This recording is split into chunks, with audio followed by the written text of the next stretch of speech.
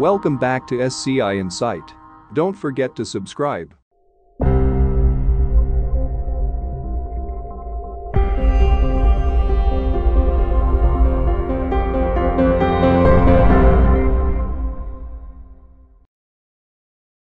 Eight dramatic transitions drive big history's 13.7 billion year story. We call these major thresholds of increasing complexity. They're times when the right ingredients combined with just the right conditions to enable the creation of an entirely new form of complexity. When our universe appeared, it was simple and, from our perspective, frankly, a bit boring. There were no stars, no planets, no life, and certainly no humans. And yet, look around, and you'll see amazing complexity. A sky filled with stars and galaxies in all stages of development.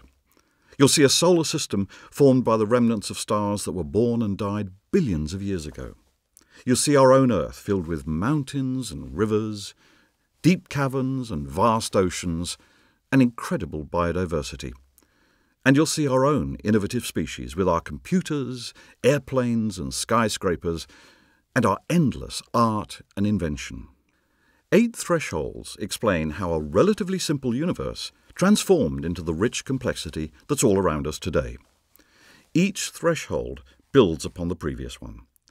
Together, they help explain where everything came from. They help explain our own place in the universe and where things may be heading. Today, much of the universe is still pretty simple, with large tracts of empty space. We'll see how complex things appeared in special regions, regions where the ingredients and the Goldilocks conditions were just right to cross new thresholds of complexity. Step by step, we'll see how new forms of complexity appeared, each with components and qualities that had never been seen before, leading to the world we live in today. Our first threshold is the Big Bang, which happened about 13.7 billion years ago and led to the creation of the entire universe. We don't know much about the ingredients and the Goldilocks conditions that led to this first threshold because we just don't have much evidence. For example, what made the Big Bang possible? We don't know. Why did the Big Bang happen? We can only speculate. Was there even space and time before the Big Bang? We don't know that either. What we do know is that the Big Bang provided the raw materials for everything around us today. After the Big Bang, there was space, which was rapidly expanding, and there was time. There was also matter and energy. At first, the universe was so hot that you couldn't tell the difference between matter and energy. But within the first billionth of a second after the Big Bang, matter and energy separated. Then, energy took different forms, including gravity and electromagnetism. And matter appeared in the form of electrons and quarks, and quarks soon linked up to form protons and neutrons. Why is this so important? Because nothing had turned into something. And that something contained everything needed to build an interesting universe, one that could eventually include you and me. Now let's take a closer look at how our universe began to build more complex things.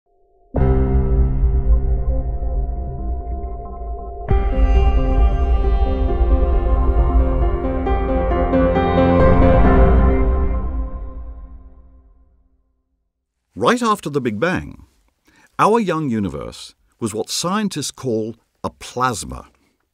This was basically an incredibly hot mush of charged particles without much structure or complexity. About 380,000 years later, things began to change. By then, temperatures had fallen low enough for protons, which have positive charges, to link up with electrons, which have negative charges, and together they formed electrically neutral atoms, very simple ones like hydrogen, some helium, and a few slightly heavier atoms thrown in for good measure. The universe now contained vast clouds of these atoms. Add gravity, and now you have the ingredients for our second threshold, the formation of stars. Here's what happened next. Wherever there is slightly more matter, Gravity is more powerful. So tiny variations in the density of matter became the first Goldilocks condition for this second threshold. Gravity packed slightly denser regions ever closer together, squashing them so tightly that they began to heat up. This growing pressure and heat created our second Goldilocks condition. Eventually, the clouds got so hot that protons and electrons split apart once more, recreating a plasma. And when temperatures in these hot spots got to about 10 million degrees Celsius, protons began to fuse together. And part of them turned into energy as they did so. This huge release of heat from the centre of each cloud of matter stopped the cloud from collapsing any further. And this is how the first stars lit up. Soon the universe had billions of hot spots, pouring energy into the cold of deep space.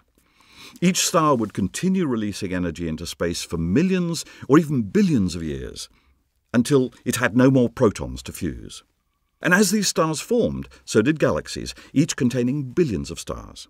Galaxies in turn grouped together into huge clusters and chains of galaxies, the largest structures in the universe. Suddenly, the universe seemed to have a lot more variety and a lot more structure. Now, what new things could happen in a universe filled with stars?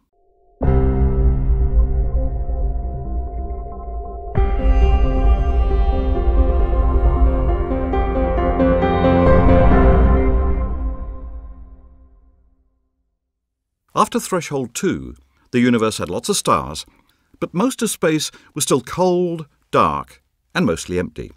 The universe consisted almost entirely of two types of atomic matter hydrogen and helium. These were both light gases, and one of them was totally inert. Like a painter with just two colours, one of which won't mix, it was impossible to make anything very interesting. The universe needed more colours, more chemical elements, and that was the work of Threshold 3.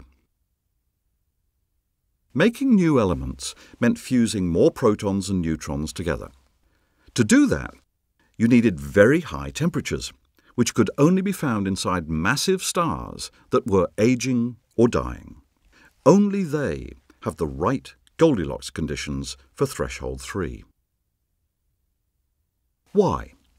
Well, large stars have so much mass that they can create enormous pressures and temperatures. Those temperatures get cranked even higher when large stars run out of hydrogen. When that happens, fusion stops at the centre and the star collapses like a burst balloon.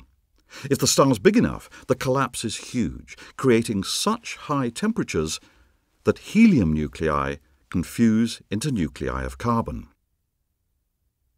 When the star's used up its helium, it collapses again, and the cycle starts over.